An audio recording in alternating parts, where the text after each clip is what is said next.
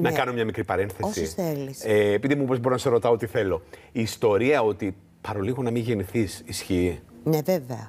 Ότι η μαμά σου δεν ήθελε να Ναι, κάνει παιδί. Ναι. η, η μαμά μου, επειδή ο, ο πατέρας μου ετοιμαζόταν για ε, να πάει ακόλουθος στην Αμερική ε, και η μαμά έμεινε έγκυος, ε, κάποια στιγμή θεώρησε, φοβήθηκε η μαμά ότι θα σταματήσει ε, την καριέρα του πατέρα μου ε, και ε, σκέφτηκε, έκανε κάποιες σκέψεις για να σταματήσει την κοίηση.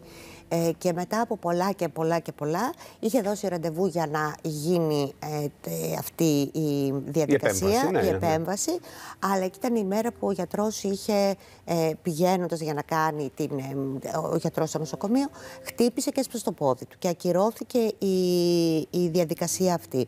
Οπότε Επειδή εγώ- έπαθε ατύχημα ο επειδή γιατρός. έπαθε ατύχημα Γιατί ο πρέ- γιατρός. έπρεπε να το ξέρεις εσύ αυτό; Δηλαδή αυτή η Ε, το πληροφορία είχαμε- γιατί έφτασε σε σένα, Ναι. στο παιδί; Ναι. Όντως. Κοίταξε, Και από ποιον έφτασε; Θα σου πω ότι η μαμά μου είχε μιλήσει για κάποια γεγονότα τα οποία δεν, δεν νομίζω ότι μου το είπε ότι ε, για να πάθω κάτι κακό, αλλά για να μου πει πόσο ήθελα να, πόσο τελικά ε, ήθελα κι εγώ να γεννηθώ Α, και τι καλά ναι. που ήταν. Ναι, καρμικά που ότι ήρθες σε καρμικά αυτόν τον ότι, κόσμο. ε, ήρθα Ναι, σε, ναι. σε αυτόν τον κόσμο.